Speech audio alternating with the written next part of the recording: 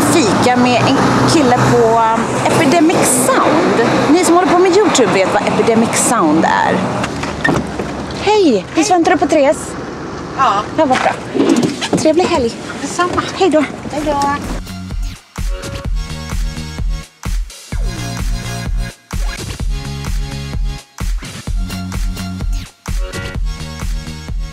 Jag är på Epidemic Sound. Här är Eddie. Hej. Eddie. Det är så coolt här. Jag älskar ert kontor. Det är så snyggt. Tack.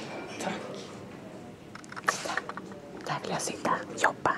Epidemic Sound som jag träffade är i alla fall alltså, världens grymmaste tjänst.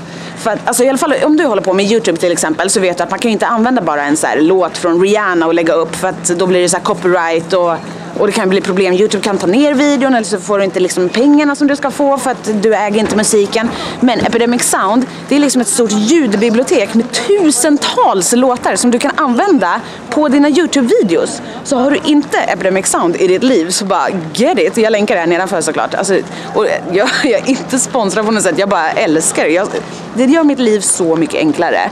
Thank you Epidemic Sound. Hej! Therese. Hejsan, ja Therese ja. Minuter extra att komma fram och så mycket du... Jag har ingen fara. Väntar du här så Ja får jag lämna mina vantar.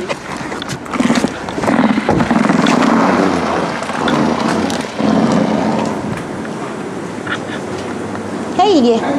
Istället för att ta taxin direkt hem från Epidemic Sound så kom jag på, just det, den där krukan som jag tjatar om, den har ju kommit och jag tror inte att jag orkar bära den. Så jag tog taxin till posten och det var tur att jag gjorde det, för kolla hur stor den här kartongen är. Alltså, och båda de här två, Hallå, hur skulle jag kunna... Tänk ifall jag hade burit det här. Alltså det är jättetungt och jättestort. Så nu måste jag upp för alla trappor med de här. Här uppe stod ett till paket och väntade. Jävlar.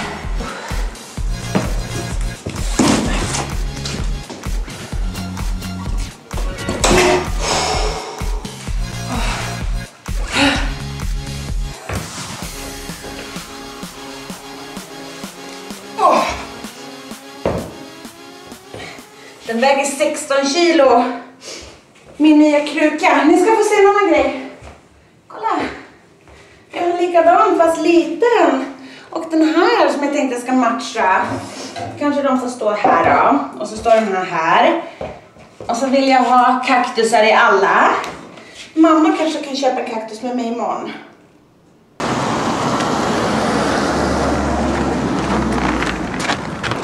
Oh, jag orkade inte öppna alla paket efter att jag hade burit upp dem. Jag har fortfarande inte käkat någonting. Så nu har jag beställt thaimat nere på thaien och så ska jag gå upp och köpa lite godis tänkte jag. Sen går jag ner och hämtar thaimaten när den är klar och sen så går jag hem och så nom nom mat, mat, mat, mat.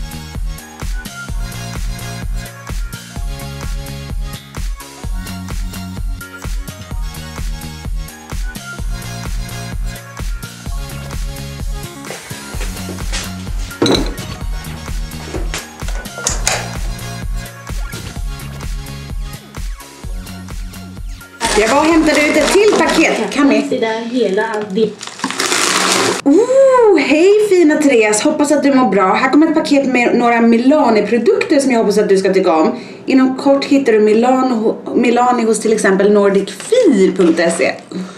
Vad cheesy!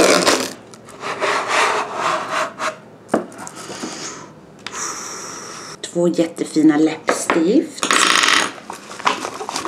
Två stycken rouge. Två matchande läppar. oh! Ah, ett till läppstift. Vilken fin färg! Och här måste vara ögonskuggor. Jag har aldrig testat deras ögonskuggor. Bella Champagne och Bella Ivory. Gud vad gulligt! Tack så jättemycket! Det här är då Pretty Natural nummer 43.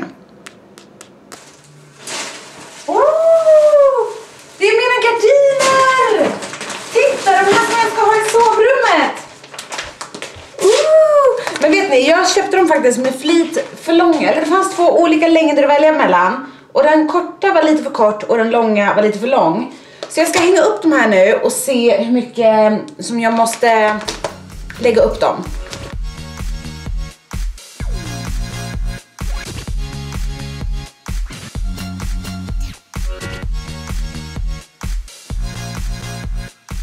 Femton centimeter måste skräddan ta bort.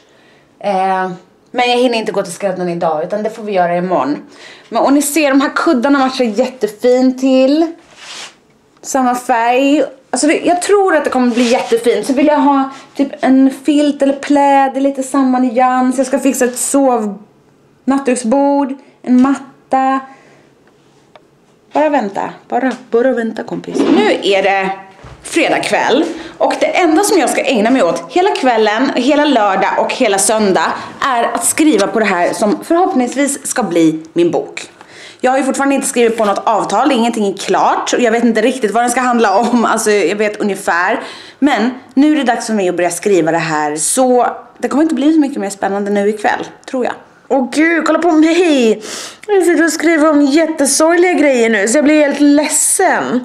Alltså, eller jag är inte ledsen. Jag var ledsen då när det här hände och nu så, bara när jag skriver om det så blir jag jätte... Alltså, sitter här och gråter för att, för att jag skriver. Idag har jag ingen dagens fråga för att istället så har jag en fråga till er. Det är nämligen så att när jag var hos tandläkaren här häromdagen så sa tandläkaren till mig att jag borde köpa en eltandborste för att det är skonsammare mot tänderna. Så att jag tänkte höra med er som har en eltandborste eller om ni har haft en eltandborste. Vad tycker ni om det? Är det värt att köpa en eltandborste? Är det bra liksom? Jag tänker mest på att den kommer stå här och se ful ut. För att jag måste ju ladda den hela tiden. Men berätta gärna ni som har eltandborste ifall det är värt eller inte. Tack så mycket för att ni tittade idag. Vi ses imorgon igen och glöm inte att använda tandtråd ikväll. Det är jätteviktigt. Puss!